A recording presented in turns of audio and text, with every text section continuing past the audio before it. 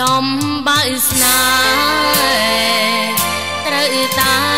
រកស្នេហ៍ថ្មីមកជំនួសរឿងដែរកន្លងស្នាមរបួងទ្រួងត្រាយជីវិតថ្មីណា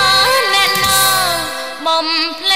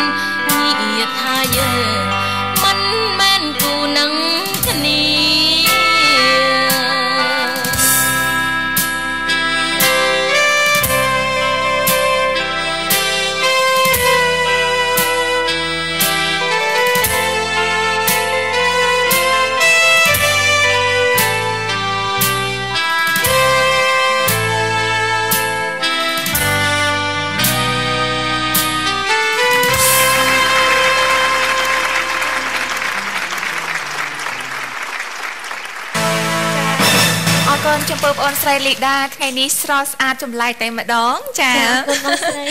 ចាអរគុណដល់សម្អាងការសុធីវ៉ាន់ដែលបានផ្ដល់នៅឈុតរោពណ៌ក្រហមដល់គួរឲ្យតាក់ទាញហើយនឹងគ្រឿងអលង្ការដ៏ស្រស់ស្អាតដល់បងអូនស្រីហិនលីដា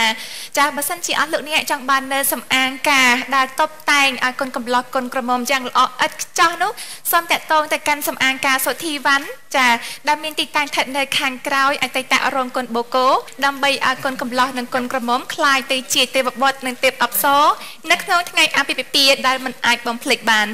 ចានៅពេលនេះជួបជាមួយអ្នកគ្រប់គ្រងរបស់បងអូនស្រីលីដាវិញម្ដងមានអ្នកខ្លះគាត់ចេញចូលរួមព្រោះថាគឺជាសប្តាហ៍ដែលគៀកដល់អឺការប្រឡងការប្រឡងដែលយើងត្រូវជ្រើសរើសតើដួងផ្កាយទាំងពីររូបរបស់យើងហិនលីដាឬជ័យសវត្តដែលជាដួងផ្កាយដ៏ឆ្នើមបំផុតនៅក្នុងកម្មវិធីនេះចាថ្ងៃនេះច្រើនណាស់បងឡើងមកពីខេត្ត3ឡានអូហូ3ឡានចាជម្រាបសួរ ចាជំរាបសួរបងចាបងអូនស្រីមានអារម្មណ៍យ៉ាងណាដែរចំពោះការប្រឡងដែលកាន់តែខិតជិតចូលមកដល់នៅសប្តាហ៍ក្រោយដែលយើងត្រូវដឹងថាតើរវាងបងអូនប្រុស ជ័យសវត្តនិងបងអូនស្រីលីដានេះពីរអ្នករបស់ពីរអ្នកគាត់មួយណាដែលអាចទទួលយកនៅជលិភីជាដួងកាយដ៏ឆ្នាំរបស់យើងបានបងអូនស្រីមានអារម្មណ៍យ៉ាងណាដែរសម្រាប់ខ្ញុំផ្ទាល់ខ្ញុំភ័យផងអរផងជំនួសបងអូនហ្មងព្រោះអីអឺកម្មវិធីហ្នឹងគឺពោរពេញទៅដោយភាពល្បីល្បាញដំឡោះហើយមានគេអ្នកគ្រប់គ្រងច្រើនហើយសម្រាប់ខ្ញុំផ្ទាល់ខ្ញុំសង្ឃឹមថាបងអូនស្រីខ្ញុំគឺជាប់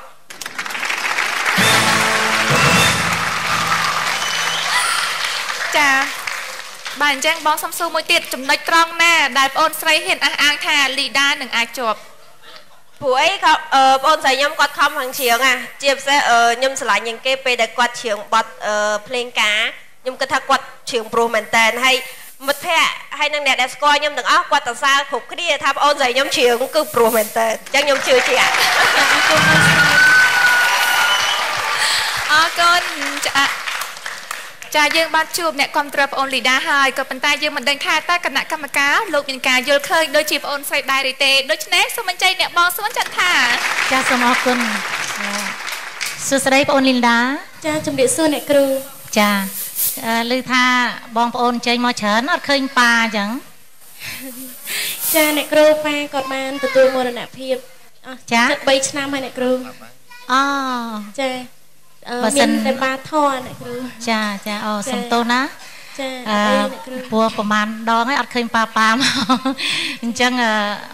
លោកនឹងមើលពីលើចុះឃើញកូនស្រីដែលកំពុងប្រឡងអញ្ចឹងលោកសប្បាយចិត្តហើយណាចាអ្នកគ្រូចាចាហើយឥឡូវនេះយើងងាកចូលសិល្បៈបတ်ដំបៅស្នេហ៍នេះគឺអឺអ្នកច្រៀងដោយអ្នកមីងអឺចាអ្នកមីងម៉ៅសារ៉េតចាបងអូនបងអូនធ្វើបានល្អបើនិយាយពីទស្សវត្សសម័យឥឡូវ បងអូនច្រៀងមិនខុសពីអ្នកគ្រូទេពីព្រោះអឺពីដើមអឺអ្នកមីងម៉ៅម៉ៅអឺម៉ៅសារ៉េតក៏ច្រៀងអញ្ចេះបំភ្លេចអូនចូលចង់អើយកុំស្រណងអាឡងអាឡៃទៀតណើយមិនចឹងហ៎ចាប៉ុន្តែអ្នកគ្រូក៏មានថតដែរអឺ DVD រៃមៀមីងអើអ្នកគ្រូអើយដែរដល់ DVD VIP អ្នកគ្រូអ្នកគ្រូអត់អើយទេព្រោះ Boston ចា Boston ចង្វាក់3អញ្ចឹងអឺបើយើងអើយក៏បានបើយើងមិនអើយក៏បានដែរចាវាបើយើងអើយទៅបងរក្សាអឺរក្សាភាពដើមរបស់អឺអ្នកមីងប៉ិនបើយើងមិនអើយក៏វាព្រោះចូលទៅតាមចង្វាក់ Boston នឹងដែរក៏មិនថ្មីដែរពីព្រោះអ្នកគ្រូក៏ធ្លាប់ច្រៀងដែរណាប៉ុន្តែអ្នកគ្រូច្រៀងឡើងប៉ុខ្ញុំអ្នកគ្រូមិនដែរអើយទេពីព្រោះអឺយើងគិតថាចង្វាក់3បើយើងអើយទៅវាទៅជារឿងមួយចង់ចូលលើ វាចង់ចូល Boston and on ណាហ្នឹងណាចាអញ្ចឹងអឺខ្ញុំអឺបងអូនធ្វើបានល្អបើពីដើមយើងយើងត្រូវតែវេកញែកឲ្យលោកទេសនានៅតាមគេឋានលោកស្ដាប់ពីព្រោះអឺកសែតដើមគឺលោកអ្នកមីងក៏ច្រៀងអញ្ចឹងប៉ុន្តែយើងច្រៀងអត់អើយក៏អត់អីដែរពីព្រោះអើយហ្នឹងបង្កើនឬក៏មិនបង្កើនលើយើងទេចាអញ្ចឹងបងអូនច្រៀងចង្វាក់អក្ខរាវិរុទ្ធ ហើយសម្លៀកបំពាក់មិនបាច់និយាយទេគឺលោកគ្រូសម្អាងការលោកគ្រូមេងសុតិវ៉ាន់គឺឧត្តមភរិយារបស់លោកគ្រូអ្នកអឺសម្អាងការអញ្ចឹងអឺសូមជូនពរឲ្យបងអូនទទួលបានដោយជោគជ័យចាសូមអរគុណអរគុណអ្នកបងសុនចន្ទថាចុះចំពោះលោកគ្រូមេងសុធីវ៉ាន់មានអ្វីដែលលោកគ្រូត្រូវអឺផ្ដល់បន្ថែមចំពោះប្អូនលីដាសូមអញ្ជើញលោកគ្រូអ្នកនាងសុនចន្ទថា បានប្រកាសថាសំអាងការរបស់ខ្ញុំទៅជាខ្ញុំនឹងស៊ីសណូហើយអាស្លៀកពាក់សំអាងការរបស់ខ្ញុំមកខ្ញុំត្រូវតែឲ្យបន្ទុកទៅក្មួយឲ្យបានច្រើនដែរមិនមែនអញ្ចឹងទេណាគាត់ថានេះជាការអឺលំអ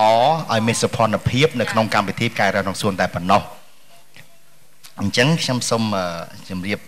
បញ្ហាមួយដោយអ្នកអឺនាងសុនចន្ទថាបានលើកឲ្យថា សំណៅដើមរបស់អឺអ្នកមីងម៉ៃសារ៉េតរបស់ម៉ៃសារ៉េត អញ្ចឹងតាំងពីទសវត្ស60ចារាល់ការហាត់រៀនក្នុងការច្រៀងយើងជាពន្លកមួយដែលយើងមិនបានស្គាល់សង្គមនោះទេក៏ប៉ុន្តែបើសិនជាយើងមិនស្ដាប់ឲ្យបានសពជ្រុងជ្រោយយើងមិនដឹងថាទស្សវត្សនោះគេអឿនយ៉ាងម៉េចណាអញ្ចឹងការហាត់រៀនដំបូងខ្លួនឯងយើងជាយុវវ័យហ្នឹងប្រៀបដូចជាទូកមួយដែលនៅក្នុងប្រឡាយមួយដែលប្រពន្ធទូកយើងមិនអាចបត់បែនទៅខាងណាទេបត់មិនរួចទេព្រោះប្រឡាយហ្នឹងវាចង្អៀតប៉ុនទូក អញ្ចឹងយើងត្រូវតែខំខិតខំស្ដាប់បទពីដើមហ្នឹងឲ្យបានសពជុំជ្រោយបានន័យថាយើងធ្វើតាមបលាយហ្នឹងហើយដល់ទៅពេលយើងហាត់បទមួយបទបានសពជ្រុងជ្រោយបានន័យថាយើងមានអឺបទពិសោធន៍ឬក៏ឡើងចដើបានមួយកម្មតែបើយើងហាត់បទ10បទឲ្យបានសពជ្រុងជ្រោយយើងនឹងឡើង10កម្មដូចជាមានបទពិសោធន៍10ដងដោយឥតដឹងខ្លួនអញ្ចឹងដល់ទៅពេលយើងថ្លៃខ្លួនទៅជាតារាដែលល្បី គឺប្រឡាយទាំងប្រមាណហ្នឹងបានคล้ายទៅជាសមុទ្រដែលយើងងាកក្រោយក៏បរោះងាកឆ្វេងងាកស្ដាំគឺថាយើងល្បីទៅហើយបានន័យថាអ្វីក៏ដោយក៏យើងទទួលបានតែជោគជ័យដែរអញ្ចឹងការអឺការដែលខ្ញុំលើកឡើងនេះគឺសូមឲ្យក្មួយឬក៏យុវវ័យដទៃទៀតសូមឲ្យយកទៅធ្វើជាបទពិសោធន៍មួយយ៉ាងសំខាន់បំផុតត្រូវស្ដាប់បទចាស់ចាស់ឲ្យបានសពជ្រុងជ្រោយ ទើបយើងអាចមានបទពិសោធន៍បានច្រើន អញ្ចឹងខ្ញុំអត់អត់ចង់និយាយអីច្រើនទេគឺថាចង្វាក់3នេះចង្វាក់អឺបោះស្តុងនេះគឺជាការលំបាកបំផុតអញ្ចឹងបានក្មួយលើកឡើងយកមកច្រៀងក្មួយអត់មានខុសចង្វាក់ទេណាដាក់សំឡេងដាក់អីហ្នឹងគឺថាมันបានដូចអ្នកមីងម៉ៃស្រេតពីដើមមែនក៏ប៉ុន្តែអឿនណែនណងអីស័កសមនឹងការយើងច្រៀងឃើញថាវាសំរុំល្មមហើយណា ចឹងមានតែប៉ុណ្្នឹងទេខ្ញុំសូមជូនពរសូមឲ្យក្មួយទទួលបានជោគជ័យបាទអរគុណលោកគ្រូចាជាថ្មីម្ដងទៀតសម្រាប់អស់លោកអ្នកដែលមានពិធីរៀបមង្គលការនោះចាកុំភ្លេចតតងទៅកាន់សំអាងការសុទ្ធីវ័នដែលមានទីតាំងស្ថិតនៅ ខាងក្រោយរោងគុណបូកូចាអរគុណចំពោះបងអូនលីដាសូមចេញសម្រាប់សិនចា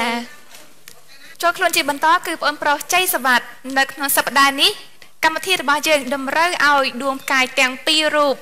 ត្រូវប្រឡងប្រជែងគ្នានៅសមត្ថភាពជាបន្តទៀតចានៅក្នុងសប្តាហ៍នេះកម្មវិធីរបស់យើងតម្រូវឲ្យដួងផ្កាយទាំងពីររូបរបស់យើងនេះត្រូវប្រកួតប្រជែងគ្នានៅបទចម្រៀងជាចង្វាក់ថ្មីមួយទៀតគឺចង្វាក់ចាគឺជាបទចម្រៀងចង្វាក់ Boston ឬយើងហៅថាជាបទចម្រៀងចង្វាក់3តើវត្តចាតើទាំងពីររូបនេះគាត់ធ្វើល្អយ៉ាងណាដែរសូមអញ្ជើញលោកអ្នកជួបជាមួយនឹងបងប្រុសជ័យសវັດដែលនាំមកជូនលោកអ្នកដោយ ក្រុមហ៊ុន Toyota Cambodia ក្រុមហ៊ុន Toyota Cambodia បាននាំមកនៅអត្ថ